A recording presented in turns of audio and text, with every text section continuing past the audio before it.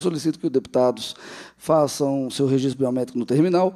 A presidência, nos termos do parágrafo, do, do parágrafo 1 do artigo aprovado e solicita a sua subscrição. Esta reunião se destina a receber, discutir e votar proposições da comissão. Posso? Se o senhor não precisa disso, eu ia até falar, se o senhor quiser votar só esse Só o dela. Então vamos lá. Que está tendo minuto, votação, Tá? né? Tira isso, beleza, vamos saber. Então vamos lá. Deixa eu só anunciar a fase. Passa-se a terceira fase da ordem do dia, que compreende o recebimento, discussão e votação da proposição da comissão.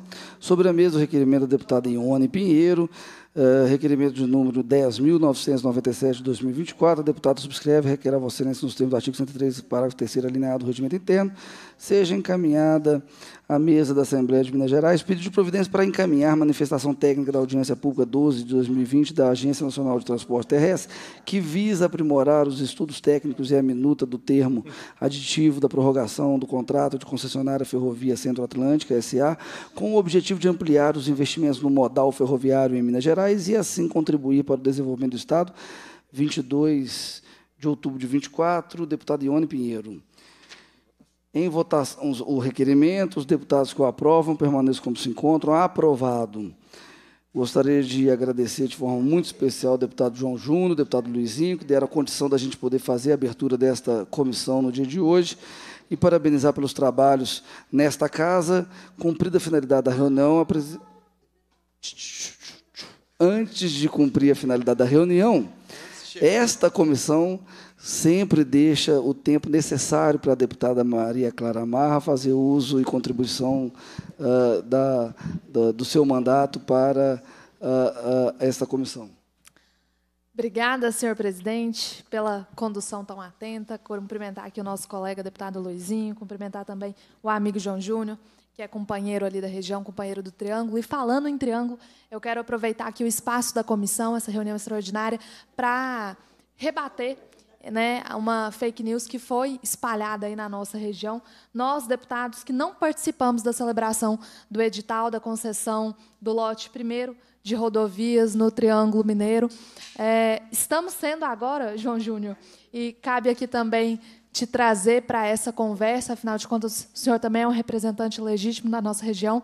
Estamos sendo é, erroneamente é, a nós está sendo erroneamente atribuído a elevação das tarifas de pedágio. Deputado Luizinho, que tem vivenciado isso em sua região também, pelo lote segundo, né, tanto pelo lote do sul de Minas quanto Varginha Furnas, sabe da dificuldade que nós temos travado, né, da, desse espaço de diálogo que nós temos buscado construir com a concessionária para até revermos essas condições colocadas pelo contrato de concessão, mas a nós está sendo erroneamente imputado esse aumento, que é um aumento previsto já em contrato, em edital celebrado, né, muito antes de assumirmos sequer o mandato enquanto deputados estaduais. Então, eu quero deixar bem claro aqui que essa é uma briga que eu fui a pioneira né, em levantar essa bandeira, fiz questão de judicializar não só o aumento, como a concessão como um todo, tendo em vista a forma pouco transparente com que ela foi conduzida e com que os editais foram montados. Portanto, fica aqui esse apelo aos nossos cidadãos aí, tanto do Triângulo quanto do Sul de Minas, quanto lote Varginha Furnas, que de fato imputem às autoridades responsáveis à época da celebração desses editais e reiterar aqui o nosso compromisso com o enfrentamento dessa injustiça que foi de fato colocada a todos nós que somos usuários dessas rodovias. Obrigada. Senhor presidente. É, antes de passar a palavra para o deputado Luizinho, só ratificar a palavra da deputada Maria Clara, essa comissão é totalmente contrária a qualquer fake news, qualquer oportunismo político. A gente vive um momento de muita dificuldade de levar é, com seriedade as pautas é, para a discussão com a sociedade e, infelizmente, algumas pessoas se aproveitam dessa dificuldade, levantando falácias, mentiras. E eu aqui sempre testemunho, como presidente dessa comissão, como colega parlamentar, o trabalho sério, o trabalho comprometido, dedicado de Vossa Excelência, sobretudo nesse tema que é tão importante para a cidade de Vossa Excelência, mas também toda a região e toda Minas Gerais. Presidente, o senhor, inclusive, é testemunha de uma audiência que nós conduzimos nessa casa, não só aqui no espaço da Assembleia Legislativa, como também em patrocínio para questionar as disposições desse edital.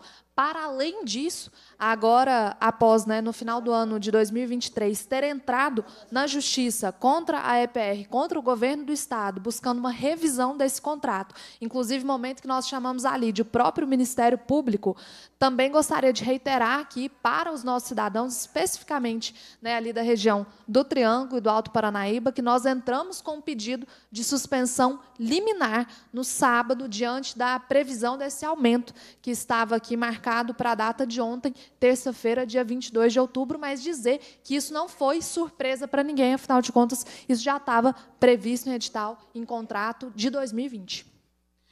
Verdade, parabéns, Vossa Excelência, pelo trabalho, não só audiência, mas requerimento, inúmeros questionamentos, um trabalho realmente sério, árduo e, e comprometido do mandato de Vossa Excelência em prol, em prol desta matéria, que é uma matéria também que é cara a todos nós deputados. Nós estamos ao lado de Vossa Excelência nesta luta, na busca de melhorar as condições, uh, sobretudo desta questão de, dos pedágios de Minas Gerais. É, cumprida a finalidade da reunião, a presidência agradece a presença dos deputados, deputadas, convoca membros para a próxima